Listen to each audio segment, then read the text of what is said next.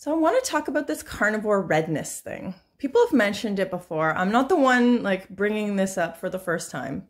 People have mentioned before that carnivores have this like reddish glow to them. Not always, but often. I'm using Shawn Baker as an example here, but there's a lot of examples. I would say Dr. Anthony Chaffee often looks kind of like he has this red glow. Now, these people are also usually very tanned, so it's harder to see a red glow on someone tanned. Um, I have another example here. Tucker Goodrich, I find he often looks red. However, he's also a redhead. Okay, so this may be like a bad example, but he's also a redhead, so it's harder to see the redness. There's females who do look red sometimes, but like they often wear makeup. So it's hard to see like the redness underneath. But you guys know what I'm talking about. The redness, the glow of the, you know, carnivore diet tends to be this red hue. And I know um in uh Plant Chompers' video, he made a video about this red glow and he um chalked it up to like hemoglobin. And I'm going to tell you why I don't think it's hemoglobin. Um, but another example of a carnivore who actually doesn't look too red is Paul Saladino to me. Now, I don't think he looks super red anymore. I think he looks more like orangey, like the fruit. And I think that's because he's upped his fruit a lot. I don't know. I'm just guessing.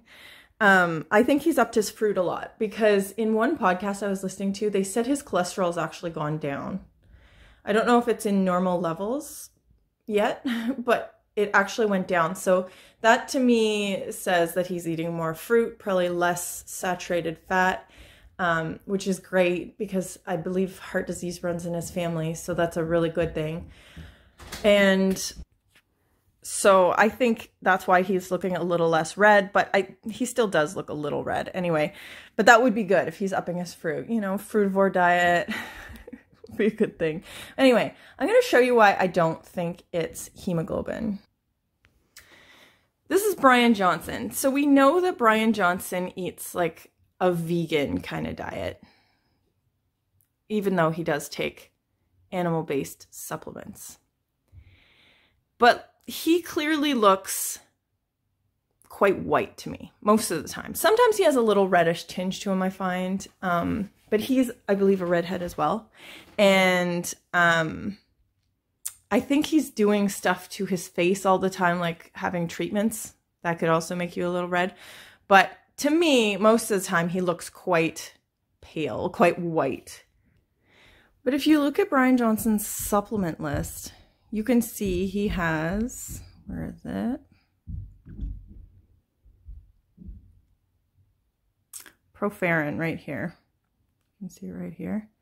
Proferrin, which is a hemoglo um, an iron supplement that's made with heme iron. So he's taking heme iron. He is not a, I guess he's not afraid of the heme iron at all. He's taking it.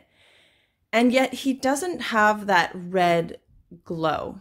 So either that means his heme iron isn't working, which I doubt because I don't think he would keep taking it. He tests like every parameter of his body all the time.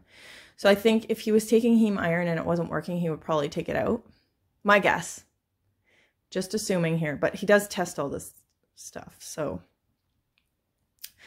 and and yet he doesn't have that red glow. So what do I think's going on here? I personally think the red glow is inflammation. And of course, people are going to expect me to say that. I'm more plant based than most people. And, you know, that would be, that would, you know, be something that would prove my case type, type thing. You know, it would be, but it makes sense to me that someone who's also taking heme iron without the negatives of meat such as the increase in saturated fat, which is going to mess up your microbiome, which is going to increase your cholesterol, which is going to cause inflammation in, you know, at least the arteries and stuff in your body. Is it the heme iron or is it the meat in general that causes the red meat, especially that causes this inflammation? And I would say, based on just pictures, but it looks as though it's it's the red meat you know, that causes this inflammation, or meat in general, animal products in general, potentially. Maybe not fish and dairy is kind of an on the fence thing, but like other animal products do tend to cause inflammation. So I think the redness might be inflammation.